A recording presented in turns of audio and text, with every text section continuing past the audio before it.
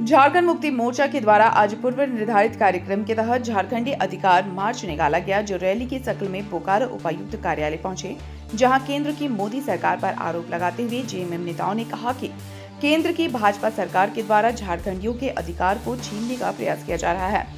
Party के केंद्रीय सदस्य, महानगर अध्यक्ष नेता मंटू यादव ने कहा कि झारखंड सरकार अच्छा काम कर रही है और युवाओं को रोज़गार से जोड़ने का काम कर रही है, लेकिन केंद्र सरकार ने युवाओं को बेरोजगार किया है और भाजपा आज आक्रोश रैली निकाल रहा है।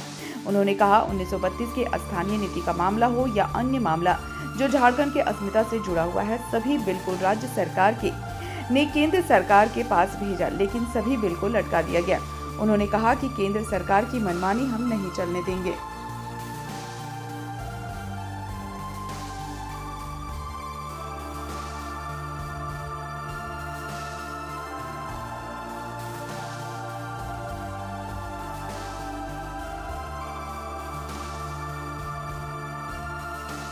जिला मुख्यालय में। तमाम जितने भी नेता कार्यकर्ता है, सारे लोग पहुंचकर, क्योंकि ये झारखंडी अधिकार मार्च, आज जो है हम लोगों का यह प्रदर्शन है। और ये प्रदर्शन के माध्यम से यह बताना चाहते हैं कि जिस तरह का केंद्र की भाजपा सरकार ने झारखंडियों को हर हमेशा कुचलने का काम किया है, आप देखे हैं कि जब उन्नीस सौ कतियान का, जब हमारी सरकार ने, हेमंत सरकार ने भेजा तो उसको वापस करवाया।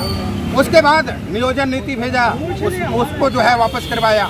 हर समय झारखंड के साथ में जो है बीजेपी सरकार मोदी सरकार सौतेला व्यवहार कर रही है और हर समय झारखंडियों को कुचलना चाह रही है। यह झारखंड मुक्ति मोर्चा कदापि बर्दाश्त नहीं करेगा जिसको लेकर आज जो है पूरे अब चौबीसों जिला के हर मुख्यालय में प्रदर्शन हो रहा है। क्योंकि यह झारखंडियों का मान सम्मान की बात है। झारखंडियों को कुचलने कुचलने का जो प्रयास भाजपा द्वारा किया जा रहा है, यह एक एक जनता यहाँ की बर्दाश्त नहीं करेगी। इसलिए आज यह प्रदर्शन है और प्रदर्शन के माध्यम से हम लोग जो है यहाँ ज्ञापन भी दे रहे हैं। धन्यवाद द्वारा